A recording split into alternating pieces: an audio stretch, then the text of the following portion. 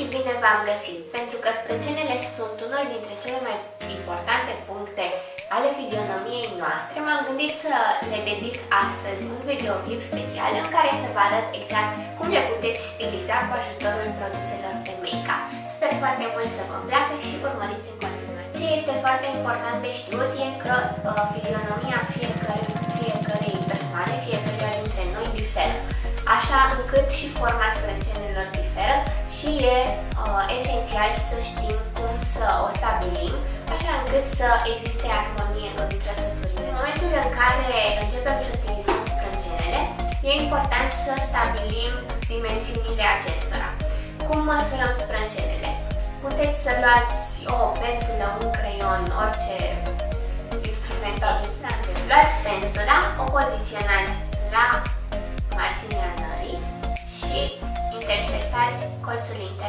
ochiului.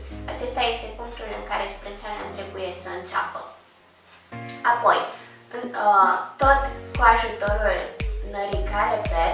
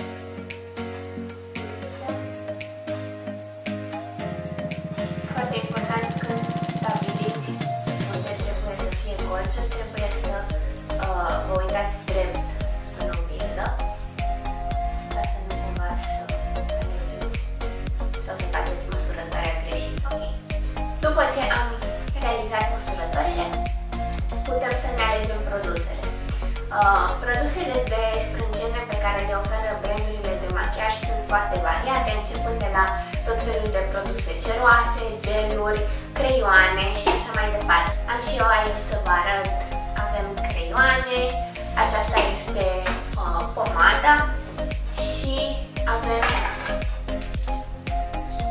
niște geluri în uh, trei variante de culori. Mie personal îmi place să folosesc întâi un produs de genul pomade cu care să pot să umplu golurile pe care le am în sprâncene și să desenez fire acolo unde este nevoie, după care folosesc un gel din acesta de fixare pentru a mă asigura că firele de păr vor sta la locurilor pe tot parcursul zilei și vor avea un aspect foarte Haideți să vă arăt cum uh, să vă stilizați sprâncenele cu ajutorul unui produs de genul acesta. Aveți nevoie de o pensulă unghiulară și de o astfel de periuță. Ideea este să aveți o pensulă unghiulară care vă place vouă și cu care știți că aveți foarte bună precizie. Mie personal nu îmi plac sprâncenele acelea foarte compacte, foarte, foarte bine sculptate, ca să zic așa. Îmi doresc un aspect cât mai natural, de aceea aleg să desenez firele, nu să colorez și să umplu întreaga sprâncea. Întâi iau periuța și mă asigur că piaptăn foarte, foarte bine, așa încât să elimin și eventualele reziduri de pudră sau fond de ten de la uh, machiajul pe. Iau puțin produs pe pensulă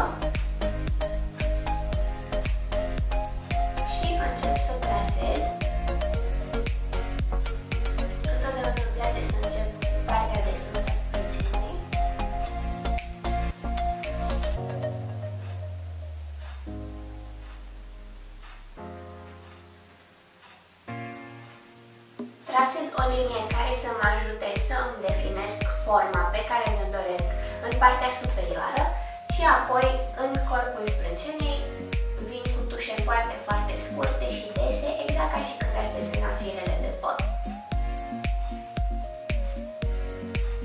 Foarte important este să uh, respectați direcția în care cresc firele de păr, adică în corpul și Uh, către final spre cenei. Direcția este aproximativ orizontală, iar uh, la bază țelele cresc vertical când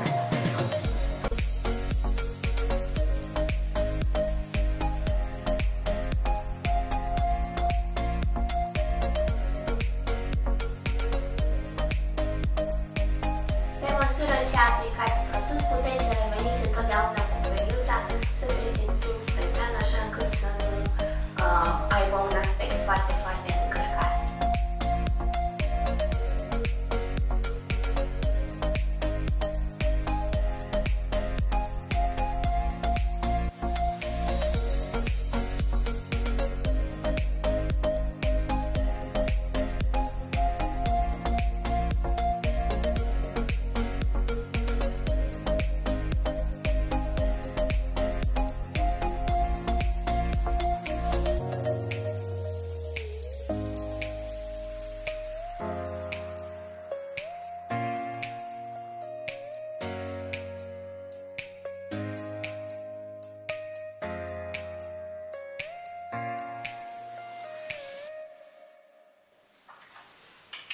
Odată ce am terminat de aplicat produsul și de desenat firele, trec pentru ultima dată cu periuța printre fire.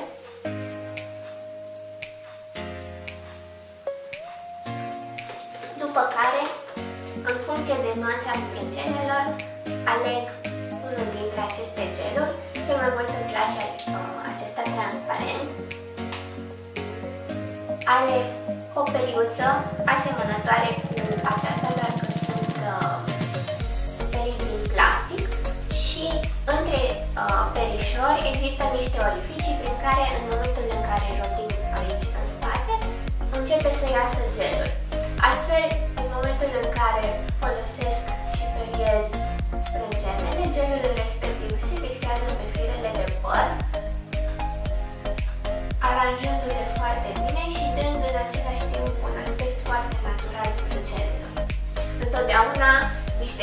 niște sprâncene cu fire bine aranjate și cu un blugi foarte natural o să arate extraordinar de bine.